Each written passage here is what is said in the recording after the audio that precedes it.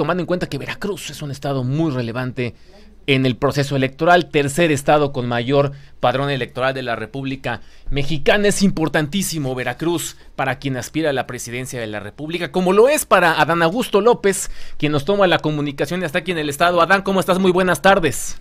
Hola Alejandro, ¿cómo estás? Mucho gusto saludarte aquí al, al auditorio de Viva Noticias.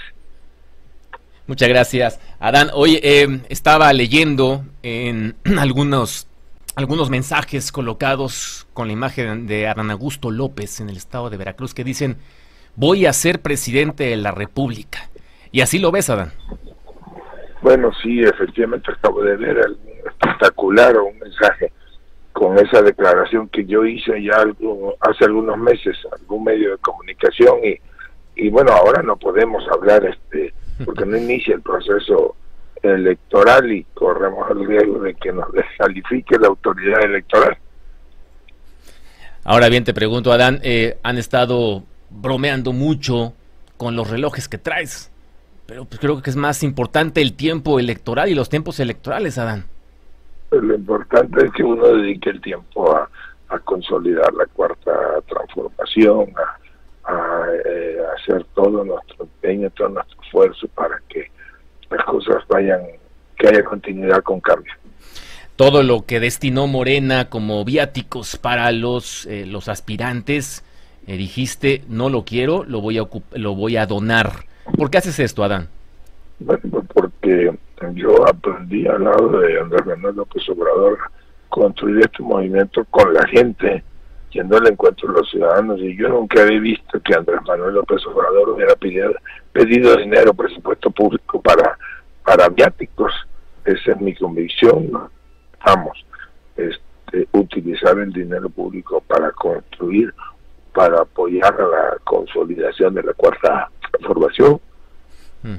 Em, ahora bien, te pregunto respecto a esta, este cuestionamiento que tanto hacen. ¿Consideras que las opciones de competencia son iguales, similares, parejas en Morena? Sí, yo lo he visto digo, en algún estado tuvimos algún problema, pero en términos generales hay reglas de competencia equitativas y se está compitiendo cada quien en su estilo. Eh, ahora bien, eh, ha, estado contigo el diputado federal Sergio Gutiérrez. También lo observas rumbo a la gubernatura de Veracruz. Bueno, le ha comentado que tiene una aspiración. Es mi amigo, es mi compañero. Y claro que a mí me daría mucho gusto que él fuese candidato a gobernador en Veracruz. ¿Cómo te han tratado los veracruzanos, Adán? Bien, los veracruzanos siempre nos tratan bien, son gente excepcional, alegre, comprometida.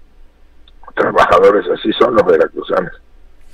Adán, ¿cómo te ha tratado el gobernador García? Que él en su momento ha dicho que su corazón está con Claudia Sheinbaum, pero ¿cómo te ha tratado aquí en Veracruz? Lo que has visto, lo que has podido. Bueno, yo ahora no he platicado con él, pero en Veracruz siempre hay un trato respetuoso hacia nosotros.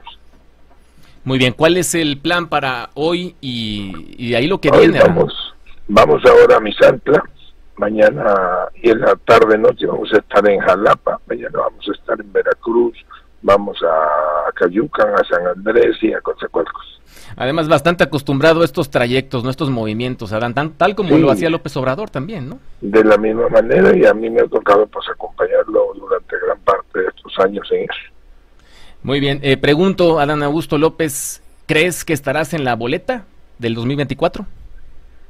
Pero cuando inicie el proceso electoral lo respondo, ahorita me van a acusar los del INE de actos anticipados de campaña. Bueno, pero de ganar la encuesta, sí ves que todavía no inicia el procedimiento para, ni Morena no, no ha presentado el método de seleccionar a su candidato a la presidencia.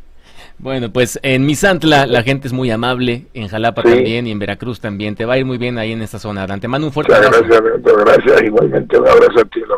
Muy gentil, Ana Augusto López, en tomarnos la comunicación. Cuidadoso, ¿no? Está bien, es parte del proceso, no quiere que le hagan señalamientos sobre algunos temas en particular, pero nos toma la llamada en exclusiva para el estado de Veracruz a través de Oliva Noticias en su trayecto hacia Misantla. Ya escuchó usted, estará en Misantla. De ahí va a estar mañana aquí en la capital veracruzana, en la tarde-noche. Y después tendrá algún evento en la zona del puerto de Veracruz. Oliva Noticias.